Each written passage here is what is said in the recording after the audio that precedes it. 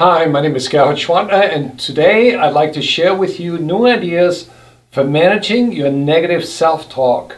You may have heard the research from NIH saying that we experience over 60,000 thoughts a day. And the interesting part is that 80% of those thoughts are negative. So how do you know this is true? And who cares about research? What are you doing here? I'm, I'm recording a video on self-talk. Well, I'm your self-talk. Um, why, why do you wear a tie? I, I bet that the millennials in the audience, they're laughing at you right now. Please, leave me alone. I'm working. What tools do you use to manage your negative self-talk? Please take a moment to download your workbook and complete that self-talk self-assessment that you find in your workbook. Honestly, do, do you think that salespeople will fill out your silly form? You don't make any sense. Do you realize that you're interrupting me and, and uh, you, you make me doubt myself and, and you're throwing me off my game? Stop now! Don't start to boss me around. I'm your self-talk and you have to listen to me. I'm the boss. No, I'm the boss. Get out of my way. I'm sure that you're wondering why I created that little skit. It's, it's not just to illustrate an example of the internal dialogue that can disrupt your performance. I wanted you to think about this question. Where does negative self-talk come from? I know only a few people who don't have it, but most people's minds are filled with the voice of their inner critic? The answer, it is an unconscious process. And with a little work, you can make it work for you instead of allowing it to handicap your performance. Take this video that uh, I was thinking about creating something new. And I came up with this idea actually in the shower last week and, and I didn't act on it. I was wondering why did I hesitate for a week before moving forward with this project? Do you know where I'm going with this? My inner critic held me back.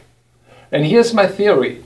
Whenever you attempt something that hasn't been tried before, like you want to double your sales, your unconscious mind reactivates past experiences.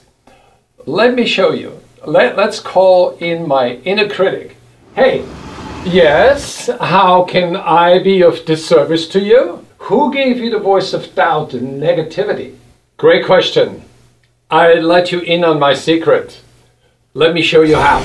This is a flashback to my childhood. Get my parents in the living room talking about me while I'm listening behind the door.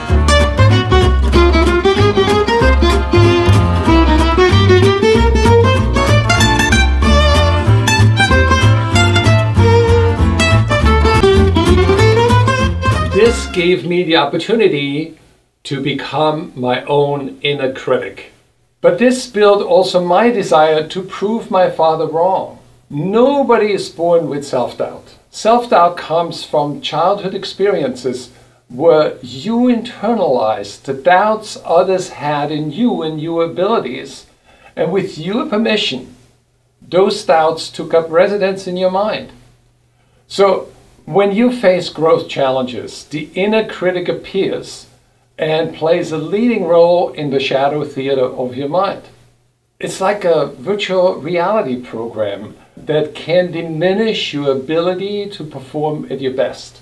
The big question is, what tools can you use to neutralize your inner critic? Your mindset is shaped by the narrative that flows from the many experiences you've had in your past. And here's a quick illustration.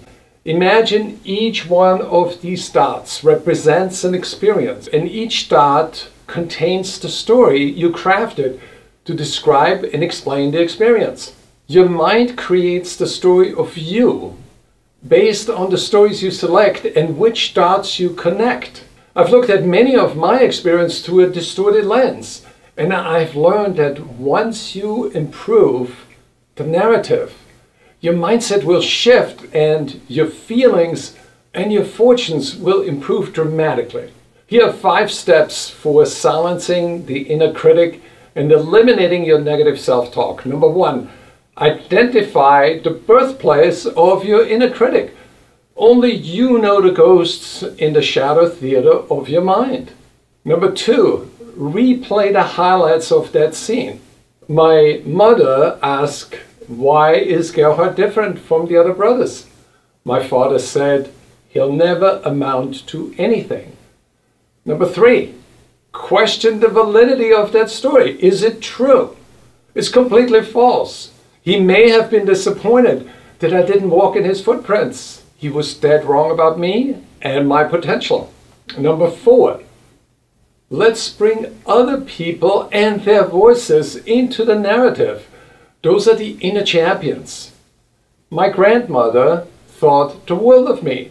My mother gave me positive feedback and support. My uncle thought I was talented. My teachers encouraged my ideas. Number five, as you activate the memories of your past champions, you will connect different dots and that changes the story of you. The key to silencing the inner critic is to create a new narrative by connecting the dots that are more representative of who you really are. And that is the best version of you. Remember, you can fire the inner critic and replace it with your inner champions. Now, allow me to finish with a little poem. The story of you is not always true. Your inner critic is a master of distortion, jumping to conclusions out of proportions. You want to thrive and be your best and lay the ghosts of your past to rest.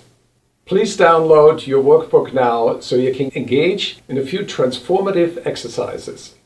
Thank you very much.